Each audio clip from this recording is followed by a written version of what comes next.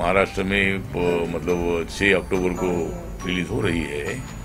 तो सब महाराष्ट्र के मराठी लोगों को मैं अपील करना चाहता हूँ, महिलाओं को और सभी लोगों को अपील करना चाहता हूँ कि विषय बहुत इम्पोर्टेंट है और ऐसी अत्याचार घटनाएँ ना हो। उसके लिए ये फ़िल्म की जो मतलब जो फ़िल्म का विषय बहुत ही बड़ा महत्वपूर्ण है और मैं सभी लोगों को अपील करना चाहता हूँ कि आप सब लोगों ने फ़िल्म को तो देखना चाहिए। और मैं सभी हमारे मराठी लोगों को अपील करता हूँ कि जहाँ जहाँ थिएटर में फ़िल्म लगेगी वो आप सब लोग जाकर वहाँ से देखिए और गीता कपूर जी को और हमारे डायरेक्टर और जो प्रोड्यूसर है उनको आप बड़ा योगदान दे दीजिए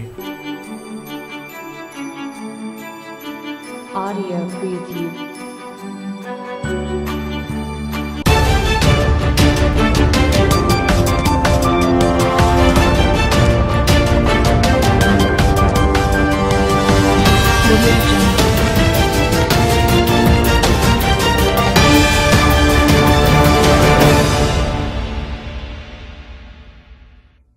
चलिए आगे बढ़ते हैं, नज़र डालते हैं मुंबई की खबरों में। आइए देखते हैं मुंबई में क्या कुछ हो रहा है खास।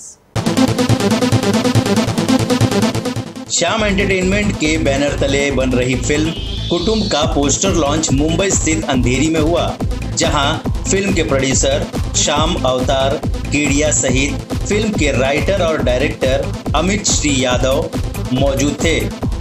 इस फ़िल्म में राजपाल यादव आलोक नाथ जैसे कई मशहूर कलाकार मौजूद है। वहीं इस फ़िल्म में म्यूज़िक दिया है आर्यन जैन ने। छोटा प्रोजेक्ट नहीं, हमने छोटे प्रोजेक्ट के लिए नहीं बोला। हमने कहा ऐसी टीम के लिए जब मीडिया का सपोर्ट मिल जाता है तो बहुत अच्छा क्योंकि मैंने भी ये समय देखा है। और ये खैर लंबी कहानी है, लेकिन जो हमारी आदतों में शुमार रहता है कि जब कोई, क्योंकि पुराने पुराने तो सब अपना रास्ता जीना जानते हैं। लेकिन जब नई जनरेशन अपना कोई रास्ता तलाश रही होती है, और उसमें जब सीनियर्स का, अब सीनियर ही समझ सकते हैं कि एक फ़िल्म की बात तो सब बराबर हो जाते हैं, लेकिन सीनियर्स का साथ मिल जाए, मीडिया का साथ मिल जाए तो ऐसे प्रोजेक्ट भी जो अच्छे कॉन्सेप्ट के प्रोजेक्ट होते हैं, उनको बहुत अच्छी जो है जगह मिल जाती है।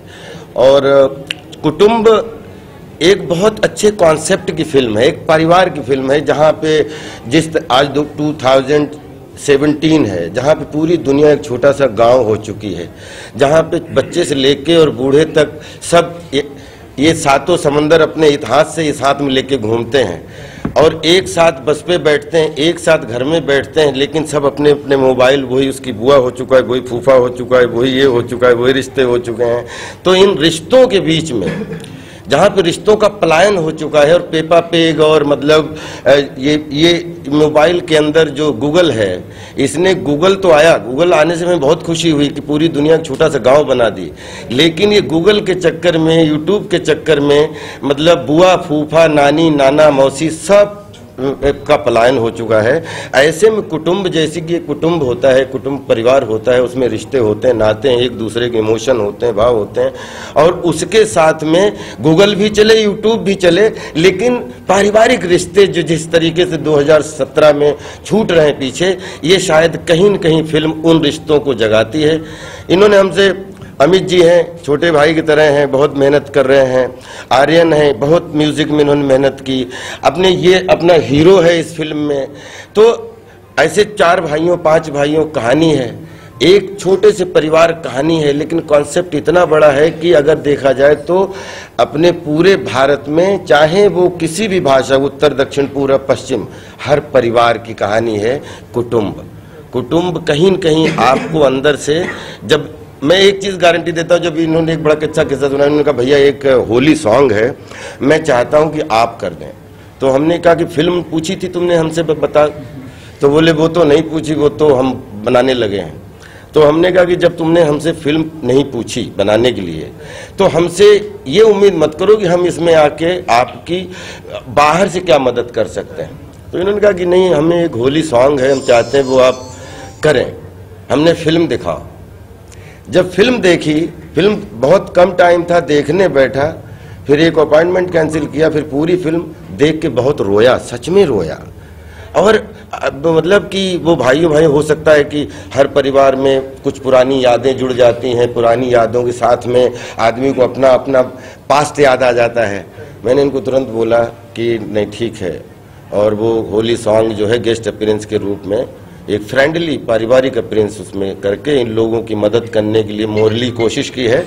और आज आप लोगों के सामने ये ये भी कोशिश कर रहा हूँ कि जो कुटुंब है, कुटुंब को जगह मिले ताकि भर, भारत के जो कुटुंब हैं, उनको एक, उनको जो हम कुटुंब खो रहे हैं, कहीं न कहीं कुटुंब को जोड़ें और उसमें यूट्यूब और जो बोलते हैं गूगल इन सबको भी पूरी, पूरे, पूरा स्थान दें। लेकिन इनके चक्कर में कुटुंब को ना छोड़ें। बहुत बहुत ही पतली लाइन है कुटुंब और आपकी जहाँ चाल। जो 2017 की चाल है और कुटुंब ठहराव होता है तो उस ठहराव को भी, जैसे बोलते हैं ना, गाड़ी का एक शीशा होता है, एक ऐसा होता है, एक सामने होता है। ड्राइविंग सीट पे आप होते हो तो कुटुंब आपके लिए वो ऊपर वाला शीशा है जिससे आप बैक देखते हो। और सामने जो बत्तियाँ हैं, उससे आप आगे चलते हो। तो मुझे लगता है ज़िंदगी की गाड़ी जो आप चला रहे हैं, जिसकी स्टेयरिंग आपके परिवार की आपके हाथ में है, उसमें वो वो ऊपर वाला शीशा है, जिससे हमेशा पीछे देखते रहते हो तो आगे गाड़ी बहुत अच्छी चलती है। मैं तो बहुत खुशनसीब मानता हूँ अपने आपको कि बड़े भैया जैसे राजपाल भैया, उनके साथ मैंने स्क्रीन शेयर किया। भैया ने बहुत प्यारा गाना गाया है, एक होली का गाना हमारी कुटुंब की फ़िल्म में। और मैं बहुत सौभाग्यशाली हूँ कि इतनी अच्छी फैमिली फ़िल्म जो आफ्टर अ लॉन्ग टाइम की मार्केट में आ रही है ऑडियंस के सामने आ रही है और आ, कुमार सानू जी ऐसे ले, लेजेंड सिंगर अलका जी राजपाल भैया इतने बड़े आर्टिस्ट मैं तो मतलब मेरे को तो सपना लग रहा है कि मैं वाकई एक सपना देख रहा हूँ। बट बोल नहीं पा रहा हूँ like I am feeling little nervous but seriously और अमित जी जैसे बहुत बड़े मतलब डायरेक्टर जो हैं, इनके ही is the captain of the shape for me so इनके मार्गदर्शक में डायरेक्शन में मैंने जो सीखा है और इन्हें सबसे सबसे अच्छी चीज़ इन्हें मेरे को फ्रीडम दी थी कि आप आप सब कीजिए लेकिन वांट के लिए कीजिए।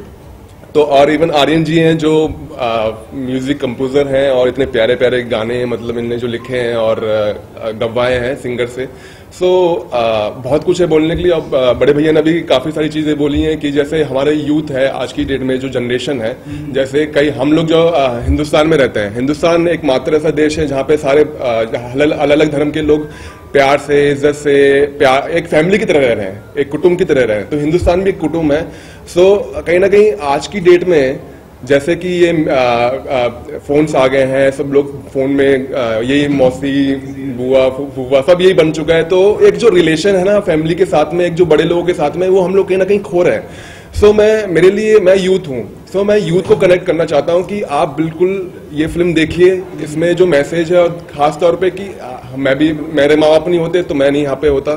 सो so, सब माँ बाप माँ बाप सबसे बड़े होते हैं। वो भगवान से बड़े गुरु होते हैं। सो so, उनकी इज़्ज़त कीजिए और और जो बड़े लोग हैं हमारे दादा जो बड़े बड़े लोग हैं उनको उन, उनके पास बैठिए उनसे सुनिए लेकिन अभी मिसकम्युनिकेशन हो रहा है। सो so, मैं चाहता हूँ कि ये दूरियाँ दूर हों और फैमिली फैमिली होती है। हम लोग सब विश्वास करते हैं कि मतलब फैमिली बने रहे टूटे ना बिखरे ना। सो so, मेरी ये दुआ है कि हम लोग सब एक दूसरे की ताकत बने और प्रकृति का नियम है चेंज होना। सो चेंज ऑलवेज ब्यूटीफुल होता है और जैसे बड़े भैया ने बताया कि अभी आने वाले टाइम पे पारिवारिक फ़िल्म में जो मिट्टी की है हम लोग मिट्टी से जुड़े हुए हैं और मिट्टी में ही वापस जाएँगे। तो ये सच्चाई है। बाकी थैंक यू सो मच और मेरे लिए बहुत बड़ा लाइक हम one of the best best debut for me इस फ़िल्म से थर्ड नवंबर गाने बहुत अच्छे किए हैं बहुत मेहनत से किए हैं। भाई साहब का आशीर्वाद है। और शानू दादा ने जो टाइटल ट्रैक गाया, वो उसकी दो लाइनें गुनगुनाने की इजाज़त चाहूँगा जन्मों का है ये बंधन, जो तोड़े से नहीं टूटे। रिश्तों की इस बगिया का कोई भी फूल ना सूखे।